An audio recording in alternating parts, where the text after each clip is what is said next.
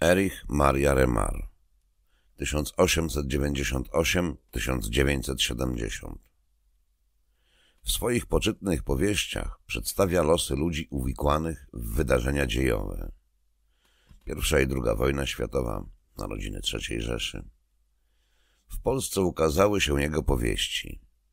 Na zachodzie bez zmian, Łuk triumfalny, Czas życia i czas śmierci, Trzej towarzysze, Cienie w raju, Czarny obelisk. Tematem Nocy w Lizbonie jest dramat emigrantów niemieckich, przeciwników faszyzmu, zmuszonych do opuszczenia Niemiec po dojściu Hitlera do władzy. Portugalia była ostatnim schronieniem uchodźców. Kto nie mógł wyruszyć stąd za ocean, musiał się wykrwawić w sieci przepisów paszportowych, zakazów pracy i ograniczeń pobytu. W atmosferze osamotnienia i okrutnej powszechnej obojętności wobec losu poszczególnego człowieka, którą pociąga za sobą wojna, strach i bieda. Na tle tych bezlitosnych czasów ukazuje autor bezinteresowną, pełną wyrzeczeń miłość dwojga ludzi, których los dosięgnął w momencie, kiedy ostatni statek, niczym Arka Noego, miał ich uchronić przed ogarniającym już Europę potopem. Rozdział pierwszy Patrzyłem na statek jak urzeczony. Rzęsiście oświetlony, stał o krok od nabrzeża basenu portowego. Wciąż jeszcze nie mogłem przyzwyczaić się do beztroskich świateł Lizbony, chociaż w tym mieście przebywałem już od tygodnia. W krajach, z których przywędrowałem, miasta, niby kopalnie węgla, tonęły w ciemnościach, a każdy błysk latarki w mroku był bardziej niebezpieczny, aniżeli morowe powietrze w średniowieczu. Przybyłem z Europy dwudziestego stulecia. Był to statek pasażerski. Trwały właśnie prace przy jego załadunku. Wiedziałem, że następnego wieczoru odpłynie. W jaskrawym blasku nagich żarówek ładowano mięso, ryby, konserwy, chleb i warzywa. Robotnicy dźwigali na pokład bagaże, a żuraw portowy przenosił skrzynie i paki tak bezszelestnie, jak gdyby wcale nie posiadały ciężaru. Statek gotował się do drogi. Niby arka Noego w przeddzień potopu. Właśnie to była arka. Każdy statek opuszczający w tych miesiącach 1942 roku Europę był czymś w rodzaju arki. Górę Ararat stanowiła Ameryka, a powódź przybierała z dnia na dzień. Zalała ona dawne Niemcy i Austrię. W jej odmętach pogrążyły się Polska Praga. Utonęły Amsterdam, Bruksela, Kopenhaga, Oslo i Paryż. Cuchnęły nią miasta włoskie, a i w Hiszpanii nie było już bezpiecznie. Wybrzeża Portugalii były ostatnim schronieniem uchodźców, dla których sprawiedliwość, wolność i tolerancja znaczyły więcej niż ojczyzna i egzystencja. Kto nie mógł stąd wyruszyć do amerykańskiej ziemi obiecanej, był zgubiony.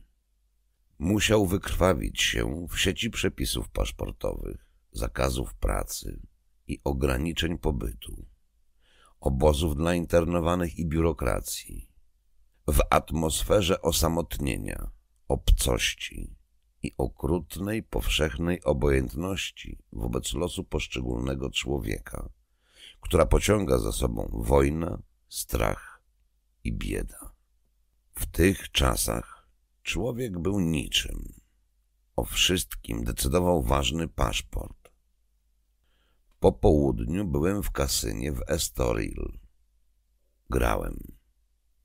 Miałem jeszcze przyzwoite ubranie, więc portier nie robił mi trudności. Była to ostatnia, rozpaczliwa próba wyzwania losu. Za kilka dni upływał termin naszego zezwolenia na pobyt w Portugalii. a nie mieliśmy zród żadnej innej wizy.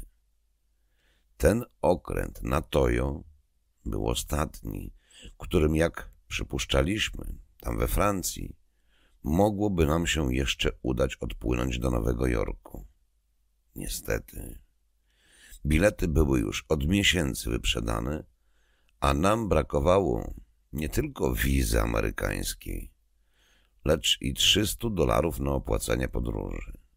Próbowałem zdobyć te pieniądze w grze, w jedyny dostępny tu jeszcze sposób, ale to było szaleństwo. Gdybym nawet wygrał, to i wtedy tylko jakiś cud mógł mi zapewnić miejsce na statku. Podczas ucieczki człowiek zaczyna jednak wierzyć w cuda. W chwilach zwątpienia i niebezpieczeństwa tylko ta wiara ratuje go przed ostatecznym załamaniem się. Z 62 dolarów, jakie posiadaliśmy, 56 zostawiłem w kasynie gry. Nabrzeże o tak późnej porze było prawie puste. W pewnym momencie dostrzegłem jednak sylwetkę jakiegoś mężczyzny. Krążył bez celu. Chwilami przestawał i podobnie jak ja, długo przyglądał się statkowi. Przypuszczając, że to również jeden z wielu rozbitków, przestałem zwracać na niego uwagę. W pewnej chwili wyczułem jednak, że mnie obserwuje. Obawa przed policją nigdy nie opuszcza uciekiniera. Nawet gdy nie ma żadnych powodów do lęku.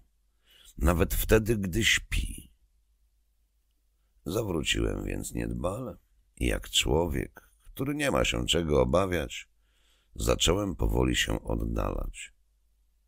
Posłyszałem za sobą jego kroki, ale szedłem dalej, unikając wszelkiego pośpiechu i zastanawiając się, w jaki sposób zawiadomić Ród, w razie gdyby mnie aresztowano. Pastelowe domki, skupione przy końcu nabrzeża i wyglądające wśród nocy jak śpiące motyle, były jeszcze zbyt daleko. Nie mógł ryzykować ucieczką i bez obawy, że zostanie postrzelony. Dobiec do nich i skryć się w wąskich uliczkach. Mężczyzna zrównał się ze mną i szedł tuż obok. Był nieco niższy ode mnie. Czy pan jest Niemcem? Zapytał po niemiecku. Pokręciłem przecząco głową i szedłem dalej. Austriakiem? Nie odpowiedziałem. Patrzyłem przed siebie na kolorowe domki. Stanowczo zbyt wolno zbliżały się do mnie. Wiedziałem, że niektórzy portugalscy policjanci znają dobrze język niemiecki. Nie jestem z policji, powiedział mężczyzna. Nie wierzyłem mu.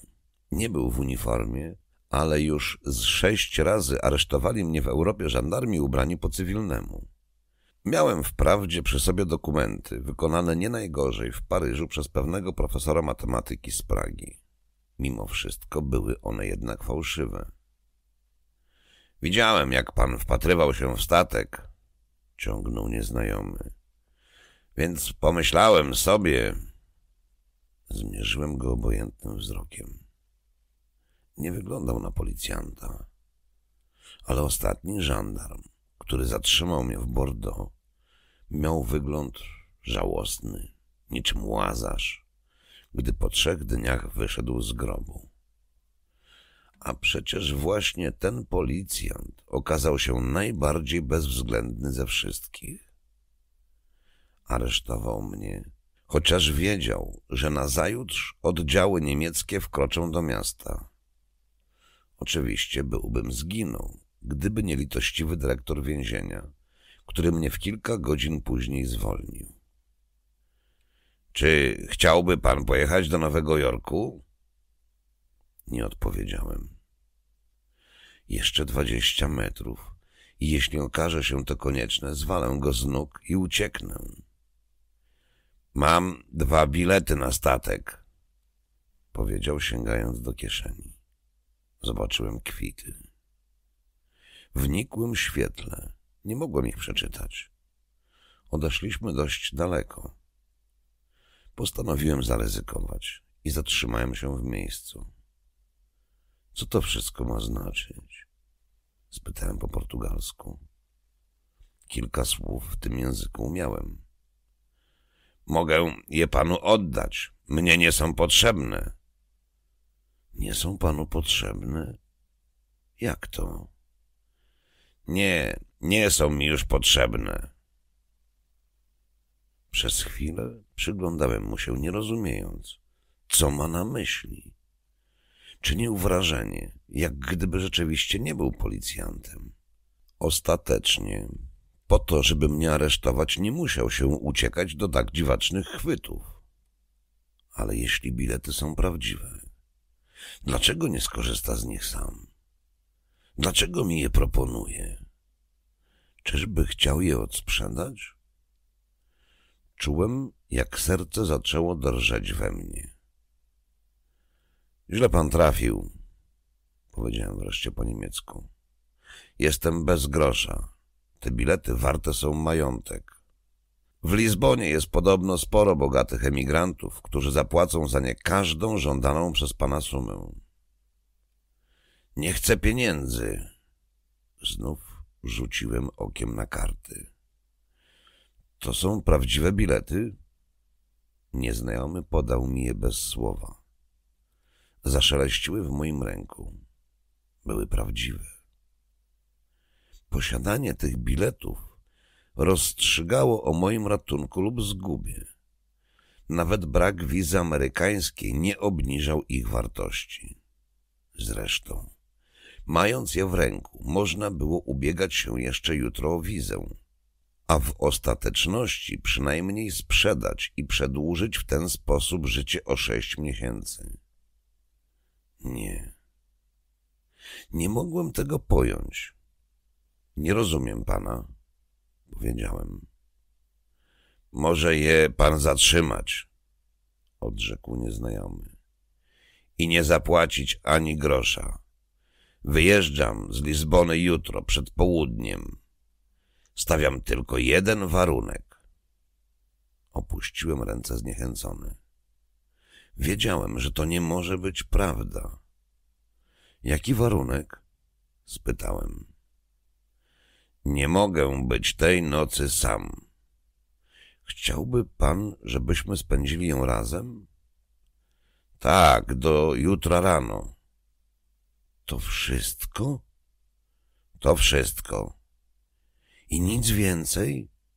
Nic więcej. Spojrzałem na niego z niedowierzeniem. Przyzwyczaiłem się wprawdzie do załamań ludzi, których los był podobny do mojego.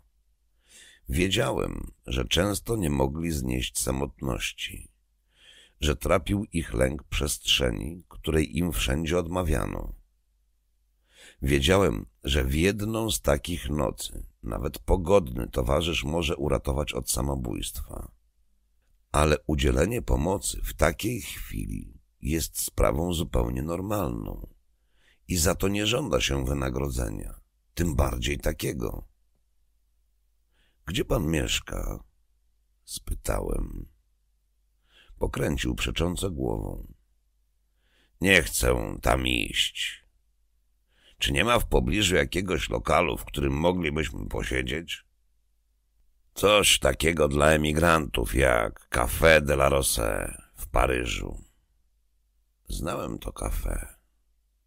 Ruth i ja nocowaliśmy tam przez dwa tygodnie. Właściciel zezwalał na to, jeśli zamawiało się kawę. Rozpościerało się dwie gazety i spało na podłodze. Nigdy nie kładłem się na stole. Tak było bezpieczniej. Z podłogi nie spadało się niżej. Nie miałem pojęcia, nie znam żadnego. Wiedziałem o takim lokalu, ale nie chciałem zaprowadzić człowieka, który miał do zaofiarowania dwie karty okrętowe, tam gdzie wielu ludzi zapłaciłoby za nie chętnie nawet utratą oka. Znam tu tylko jeden lokal, odpowiedział nieznajomy. Jedźmy, może będzie jeszcze otwarty.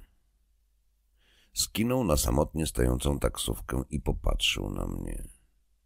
Dobrze, odpowiedziałem. Gdy wsiedliśmy do auta, podał szoferowi adres. Najchętniej zawiadomiłbym Ród, że nie wrócę tej nocy. Ale gdy wsiadałem do nieprzyjemnie pachnącej, ciemnej taksówki, opanowała mnie taka dzika, niepohamowana nadzieja, że poczułem się całkowicie oszołomiony. Może rzeczywiście wszystko to jest prawda. Może pozostaniemy przy życiu i niemożliwe stanie się faktem. Będziemy uratowani. Nie ważyłem się już ani na chwilę pozostawić tego człowieka samego. Minęliśmy teatralną scenerię Praca de Comarcio i za chwilę, i za chwilę znaleźliśmy się w labiryncie schodów i wąskich, pnących się w górę uliczek. Nie znałem tej części miasta. Jak zwykle odwiedzałem przede wszystkim kościoły i muzea.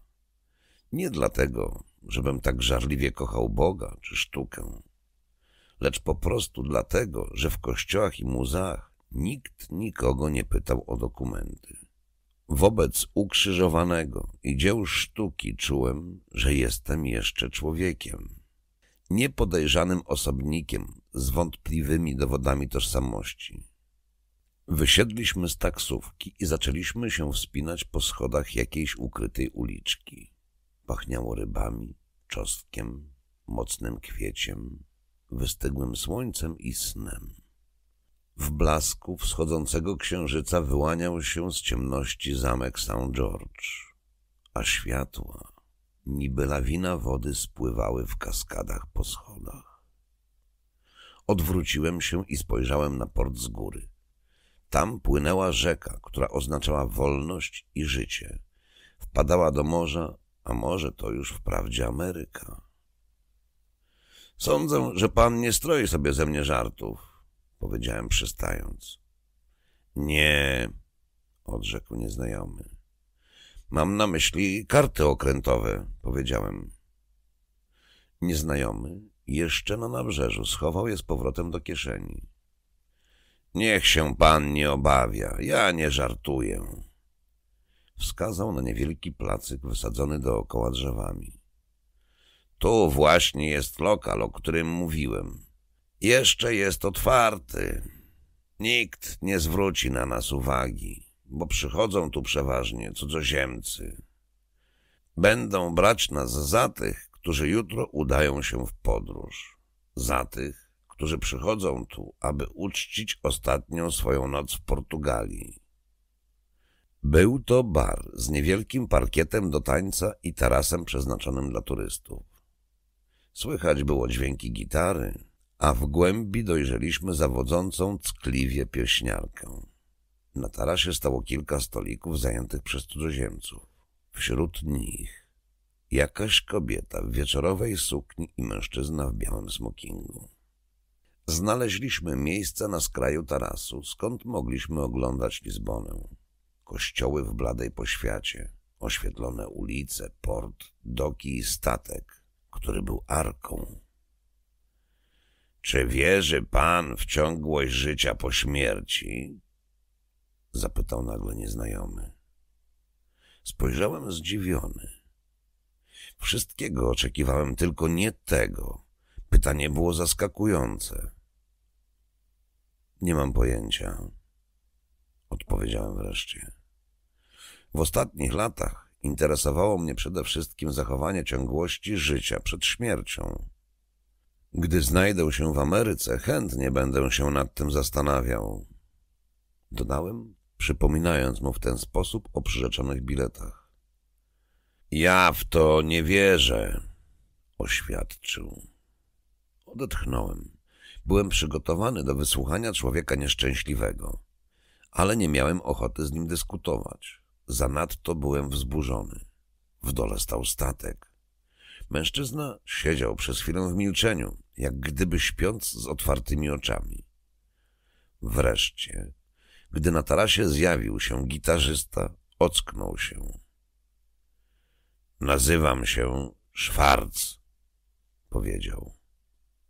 Nie jest to moje prawdziwe nazwisko. Na to nazwisko wystawiony jest mój paszport. Ale przyzwyczaiłem się do niego. Będę z niego przez dzisiejszą noc jeszcze korzystał. Długo przebywał pan we Francji? Jak długo się dało? Internowany? Zaraz po wybuchu wojny, jak wszyscy inni. Szwarc pokiwał głową. My również.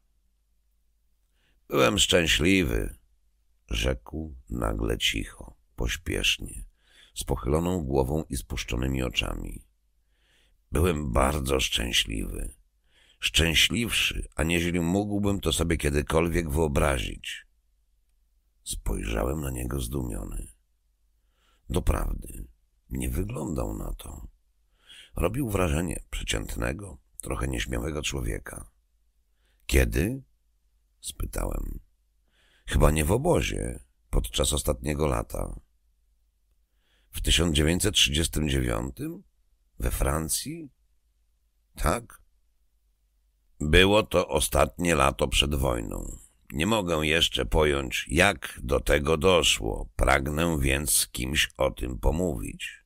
Nikogo tu nie znam, ale moja rozmowa z kimkolwiek sprawi, że to wszystko jeszcze raz ożyje i stanie się dla mnie bardziej zrozumiałe. I w ten sposób zachowa się w pamięci. Muszę tylko jeszcze raz... Urwał.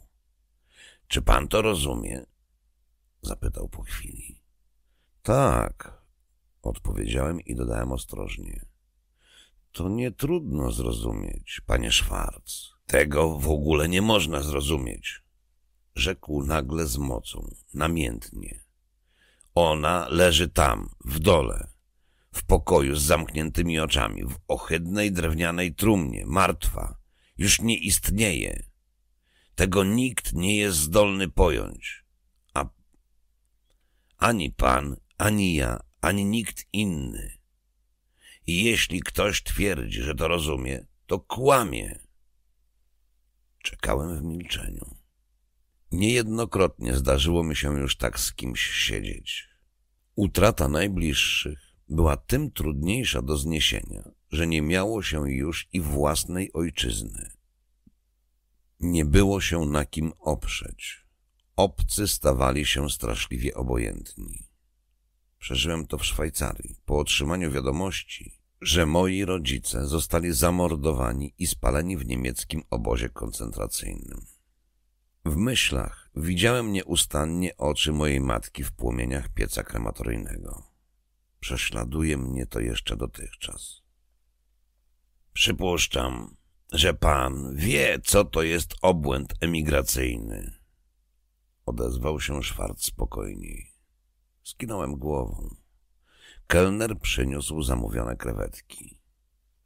Poczułem naraz, że jestem bardzo głodny i przypomniałem sobie, że od obiadu nie miałem nic w ustach. Niezdecydowany spojrzałem na Szwarca. Proszę, niech pan je, ja zaczekam, powiedział i poprosił kelnerkę o wino i papierosy. Zabrałem się żywo do jedzenia. Krewetki były świeże i soczyste. Bardzo przepraszam, powiedziałem, ale jestem bardzo głodny. Jedząc, obserwowałem Szwarca. Siedział spokojnie i spoglądał w dół na teatralną panoramę miasta. Nie zdradzał rozdrażnienia ani zniecierpliwienia. Poczułem do niego coś w rodzaju sympatii. Było widoczne, że pojęcie fałszywej godności jest mu obce. Rozumiał, że niekoniecznie trzeba być wyzutym z wszelkiego współczucia, jeśli się zaspokaja głód w towarzystwie człowieka, który cierpi. Jeżeli mu w niczym nie można pomóc, a jest się głodnym, można bez ujmy dla siebie nasycić się jego chlebem, zanim odejmą go nam od ust. Nigdy wreszcie nie wiadomo, kiedy go nam odejmą. Odsunąłem talerz na bok i wziąłem papierosa. Dawno już nie paliłem. Oszczędzałem, by mieć dzisiaj więcej pieniędzy na grę. Opętało mnie to wiosną trzydziestego dziewiątego roku. podjął na nowo Szwarc. Byłem już od przeszło pięciu lat na emigracji. Gdzie pan był jesienią 38? W Paryżu. Ja również. Popadłem wówczas w depresję. Był to okres przedmonachijski. Przyszła wtedy fala śmiertelnego strachu. Co prawda, ukryłem się jeszcze i broniłem, ale byłem już skończony. Wybuchnie wojna, przyjdą Niemcy i mnie zabiorą. Taki był mój los. Pogodziłem się z nim. To był okres samobójstw, wtrąciłem.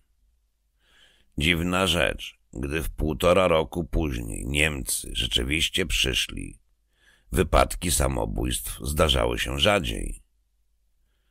Potem nastąpił okres paktu monachijskiego, powiedział Schwarz. Jesienią 1938 roku nagle po raz drugi darowano nam życie. Odczuwało się taką lekkość, że się zapomniało o ostrożności. Nawet kasztany w Paryżu zakwitały powtórnie. Przypomina pan sobie? Byłem tak lekkomyślny, że znów poczułem się człowiekiem. I niestety też się tak zachowywałem. Zostałem ujęty przez policję i za ponowny, niedozwolony wjazd do Francji skazany na cztery tygodnie aresztu. Stara zabawa zaczęła się od nowa. Po odbyciu kary przerzucono mnie przez szwajcarską granicę koło Bazylei. Szwajcarzy odesłali mnie znów do Francji, a Francuzi przerzucili z powrotem przez inny punkt graniczny. Znowu mnie zamknięto. Zna pan zresztą tę zabawę z przerzucaniem ludzi. Znam wszystko. To nie były żarty, zwłaszcza zimą. Szwajcarskie więzienia były najlepsze. Ciepło jak w hotelach. Zabrałem się znowu do jedzenia. Nieprzyjemne wspomnienia mają coś dobrego. Udowadniają, że się jest szczęśliwym, nawet jeśli przed chwilą sądziło się, że jest inaczej. Szczęście polega na gradacji. Kto zdaje sobie z tego sprawę, rzadko poddaje się uczuciu całkowitego nieszczęścia. Czułem się szczęśliwy w więzieniach szwajcarskich, ponieważ nie było tam Niemców. Ale oto siedzi przede mną człowiek, który utrzymuje, że był szczęśliwy. Mimo, że gdzieś w Lizbonie, w dusznym pokoju stoi drewniana trumna. W końcu zapowiedziano mi, kontynuował swoją opowieść Szwarc, że w razie ponownego zatrzymania mnie bez dokumentów zostanę odesłany do Niemiec.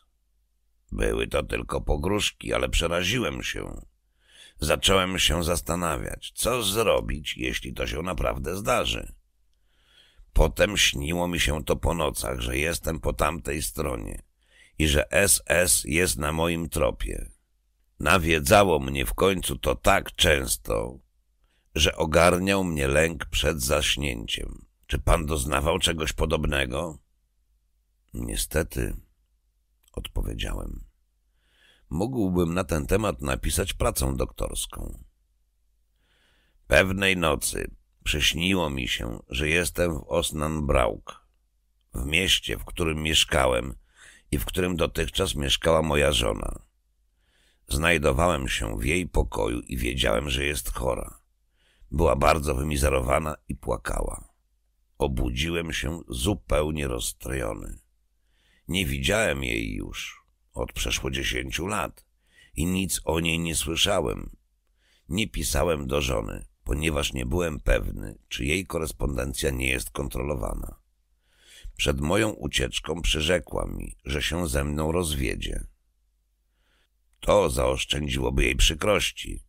Nie pytałem, dlaczego opuścił Niemcy. Różne mogły być przyczyny, ale żadna z nich nie budziła szczególniejszego zainteresowania. Wszystkie były jednak absurdalne i nieludzkie. Rola ofiary nie należy do atrakcyjnych. Szwarc mógł być Żydem lub członkiem jakiejś partii politycznej, wrogi obcemu reżimowi. Możliwe, że miał wrogów, którzy stali się potem wpływowymi osobistościami. Istniało w Niemczech aż nadto powodów wystarczających do zamordowania człowieka lub osadzenia go w obozie koncentracyjnym. Wreszcie udało mi się znowu dostać do Paryża, rzekł Schwarz. Ale sen uporczywie powracał. W owym czasie rozwijała się również iluzja paktu monachijskiego. Na wiosnę wiedziano już, że wojna jest nieunikniona.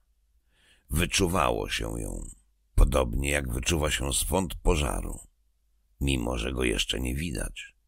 Jedynie dyplomacja światowa przymykała bezradnie oczy i roiła sny o drugim i trzecim Monachium, nie dopuszczając myśli o wojnie.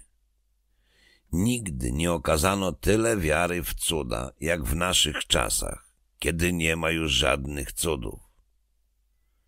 Czasami się jednak zdarzają, wtrąciłem. W przeciwnym razie nikt z nas nie pozostałby przy życiu. Szwarc skinął głową. Ta, ma pan słuszność. Indywidualne cuda. Mnie samemu coś takiego się przytrafiło. Zaczęło się w Paryżu. Odziedziczyłem nagle ważny paszport. To jest właśnie paszport wystawiony na nazwisko Schwarz. Należał do pewnego Austriaka, którego poznałem w Café de la Rose. Człowiek ten umarł, pozostawiając mi swoje dokumenty i pieniądze. Przyjechał dopiero przed trzema miesiącami. Poznaliśmy się w Louvre, przed obrazami impresjonistów. Szukając wytchnienia i spokoju spędzałem tam wiele godzin popołudniowych.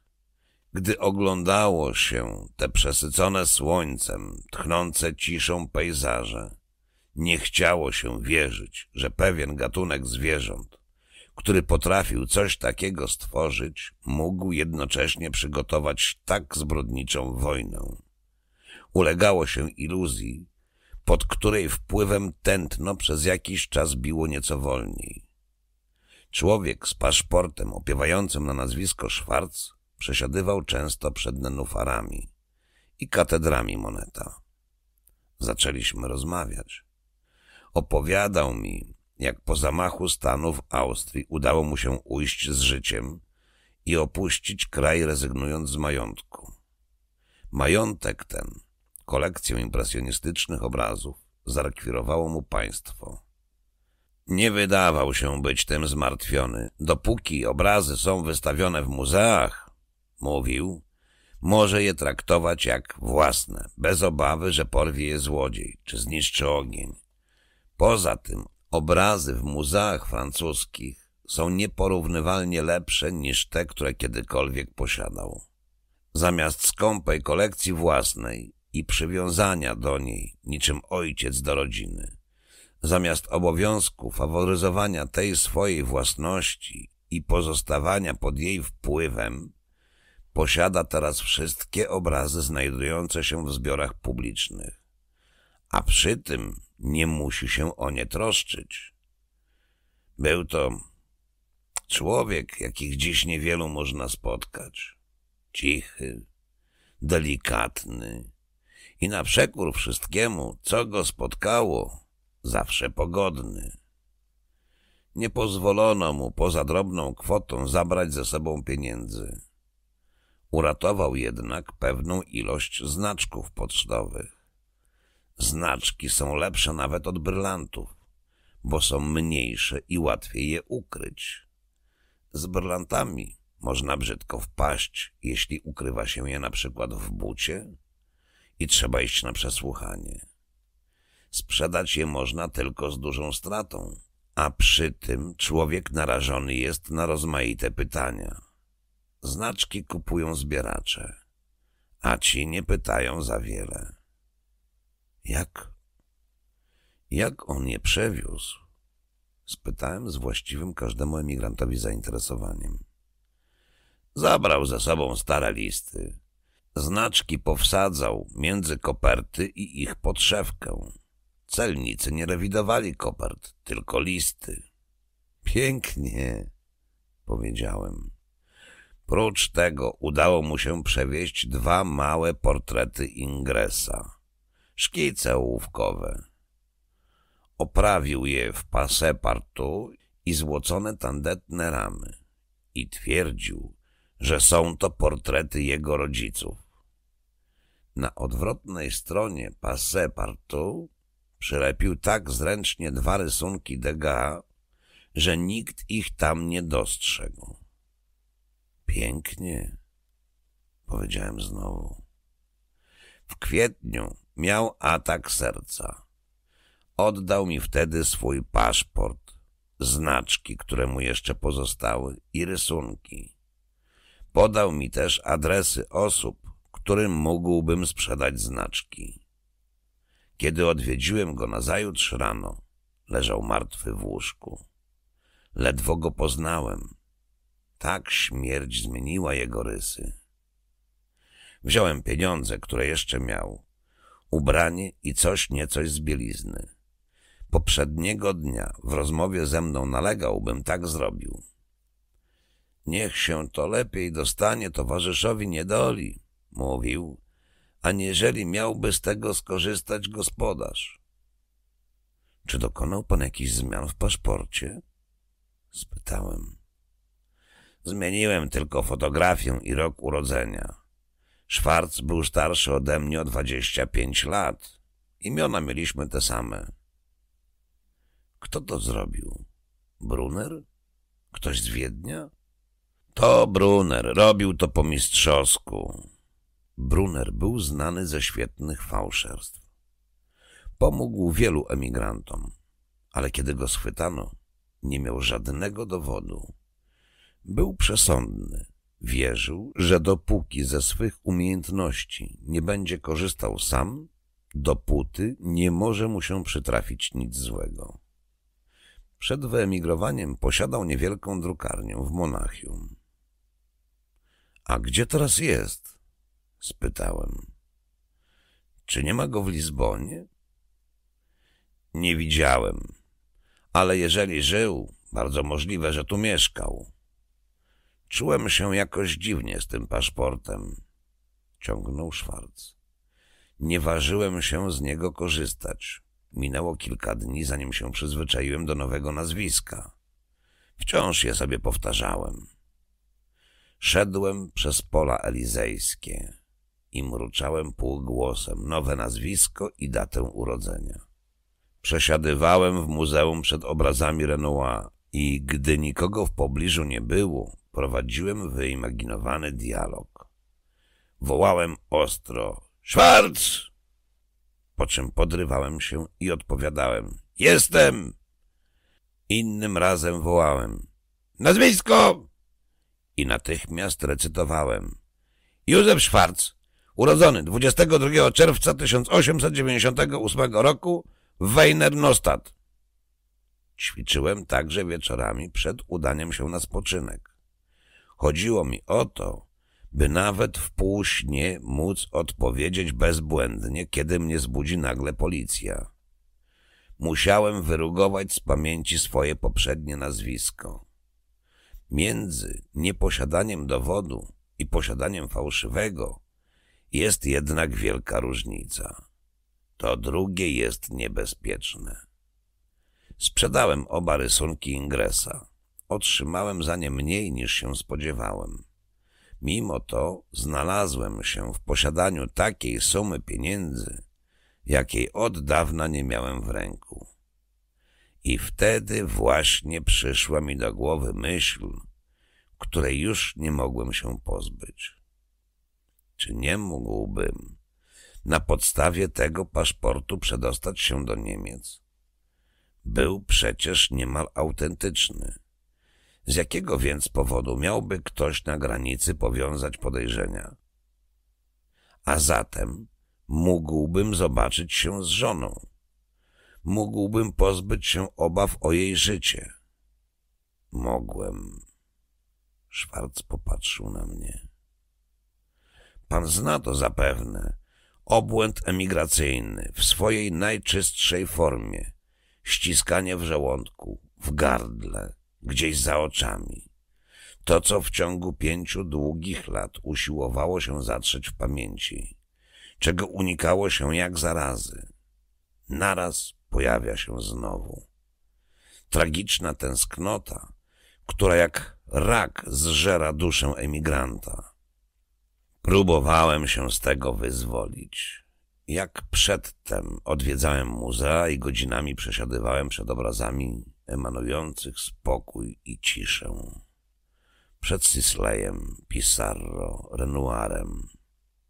Jednakże moje doznania były teraz krańcowo inne. Obrazy już nie działały na mnie kojąco. Przeciwnie, zaczęły nawoływać, żądać, przypominać o kraju niespustoszonym jeszcze przez brunatną zarazę, o wieczorach w uliczkach ze zwisającymi nad murami bzem, o złotym zmierzchu starego miasta, o jaskółczych lotach wokół zielonych wież katedry i o mojej żonie. Jestem przeciętnym człowiekiem, bez jakichś szczególniejszych przymiotów. Przez cztery lata prowadziliśmy z żoną zwyczajne życie. Przyjemne, bez większych trudności, ale i bez większych wzlotów. Po kilku miesiącach nasz związek stał się tym, co się zwykło nazywać dobranym małżeństwem. Był to stosunek dwojga ludzi oparty na zasadzie, że wzajemne okazywanie sobie względów jest podstawową harmonią współżycia. Nie ulegaliśmy złudzeniom. Tak przynajmniej nam się zdawało. Byliśmy ludźmi rozsądnymi. Okazywaliśmy sobie wiele serdeczności. Teraz wszystko to widziałem w innej płaszczyźnie. Zacząłem sobie wyrzucać, że marnowałem życie żony i własne, że wszystko zaniedbałem. Po co żyłem? Co robię teraz? Ukrywam się i nędznie wegetuję. Jak długo to jeszcze będzie trwało i jak to się skończy? Wojna wybuchnie na pewno i Niemcy muszą zwyciężyć. To był jedyny kraj uzbrojony po zęby. A co to? Gdzie się ukryje, jeśli mi czas i zdrowie na to pozwolą? W jakim obozie z głodu? Przy jakiej ścianie wykończą mnie strzałem w tył głowy, jeśli mi się poszczęści? Zamiast przynieść mi spokój paszport, doprowadził mnie tylko do rozpaczy. Biegałem po ulicach tak długo, aż się zataczałem ze zmęczenia. Ale nie mogłem spać, a jeśli zasnąłem, budziły mnie wkrótce koszmarne sny. Widziałem moją żonę w lochach gestapo.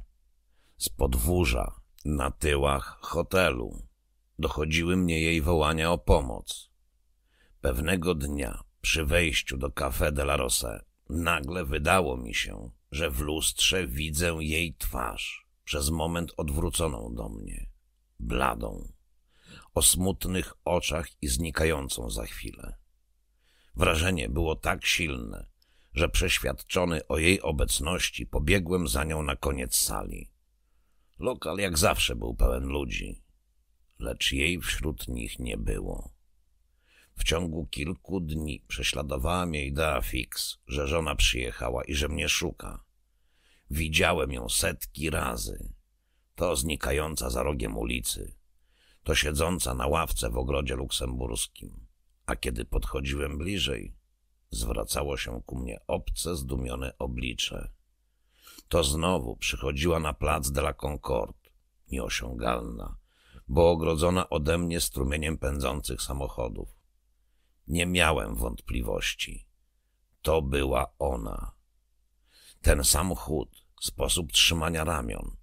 Zdawało mi się nawet, że rozpoznaję jej suknię. Lecz kiedy po zatrzymaniu przez milicjanta sznura samochodów mogłem za nią pośpieszyć, nagle znikała mi w czeluściach kolejki podziemnej. Biegałem na dół ku peronom, by dojrzeć już tylko szydercze światło latarń umykającego w ciemność pociągu. Zwierzyłem się jednemu ze znajomych. Nazywał się Loser i handlował pończochami. Przedtem był lekarzem we Wrocławiu. poradził mi unikać ciemności. Niech pan znajdzie sobie jakąś kobietę, powiedział. Nie pomogło. Zna pan te znajomości wynikłe z biedy osamotnienia, strachu, tę ucieczkę do odrobiny ciepła, do czyjegoś głosu, ciała, przebudzenie w jakimś nędznym pomieszczeniu w obcym kraju, niby strącony w przepaść i gorzką wdzięczność za to, że się słyszy czyjś oddech obok siebie. Czymże to jest jednak wobec przemożnej wyobraźni, która wysysa z nas krew, aż pewnego razu człowiek wstaje z uczuciem obrzydzenia do własnego postępowania. Teraz, gdy o tym opowiadam, wszystko wydaje się niedorzeczne i pełne sprzeczności. Wtedy tak nie było. Z tych zmagań pozostawało zawsze jedno. Muszę wracać. Muszę jeszcze raz zobaczyć żonę. Możliwe, że od dawna żyję z kimś innym. To było nieważne. Musiałem ją zobaczyć. Moje rozumowanie wydawało się logiczne. Wieści o zbliżającej się wojnie stawały się coraz uporczywsze. Każdy zdawał sobie sprawę, że Hitler, który bez namysłu złamał przyrzeczenie, iż zajmie tylko Sudety, a nie całą Czechosłowację, obecnie chce to samo uczynić z Polską. Wojna musiała wybuchnąć. Przymierze Francji i Anglii z Polską nie oznaczało nic innego. To już sprawa nie miesięcy, lecz tygodni.